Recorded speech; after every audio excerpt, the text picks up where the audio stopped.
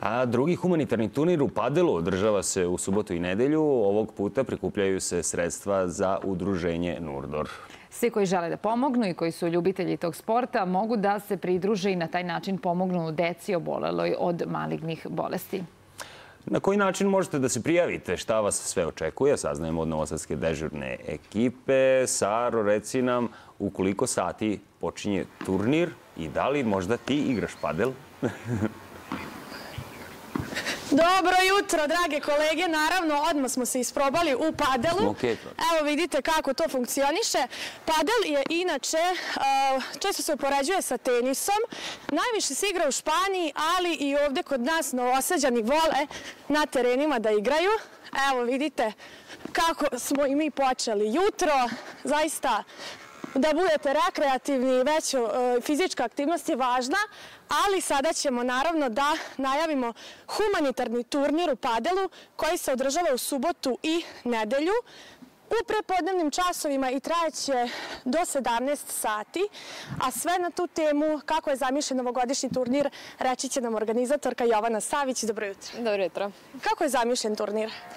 Turnir je zamišljen tako da bude podeljen zbog e, velike zainteresovanosti u dve grupe, pošto zbog toga što, iako je ovaj sport relativno nov u Novom Sadu, tako i u Srbiji, imamo jako puno zainteresovanih, imamo jako puno ljudi koji se na nekom nedeljnom nivou stalno igraju, takmiče se, I zbog toga je došlo do toga da moramo da podelimo dve ekipe, ali ceo e, turnir je zamišljen naravno da se, da se uživa i da naravno ide u neke humanitarne svrhe. Prikupljaju se sredstva za udruženje Nurdor e, i prošle godine ste imali humanitarni turnir. Tako je, prošle godine je veoma jedan uspešan e, humanitarni turnir. Bio je u organizaciji Budi Human i ovaj, verujem da je svima bilo, em što im je bilo lepo, em što je bilo veoma uspešno. Da li će to sada već biti i praksa?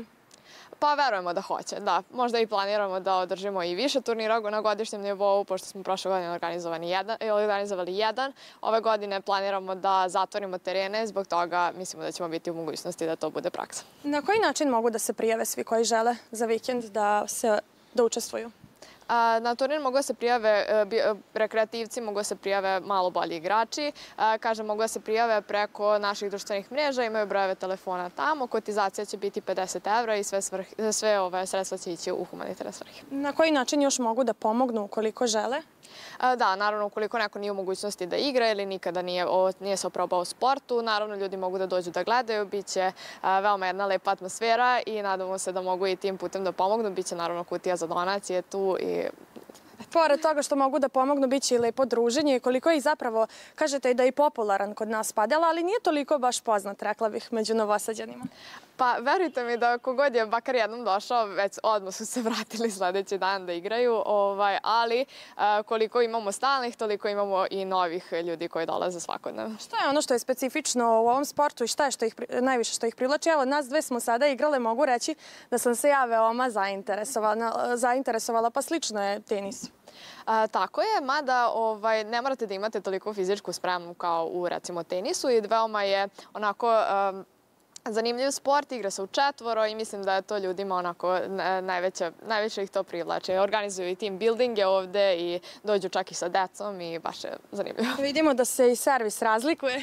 tako je, tako je. Ima par stvari koje se veoma razlikuju od tenisa, ali u suštini mislim da je dosta lakše ovaj, da se savlada.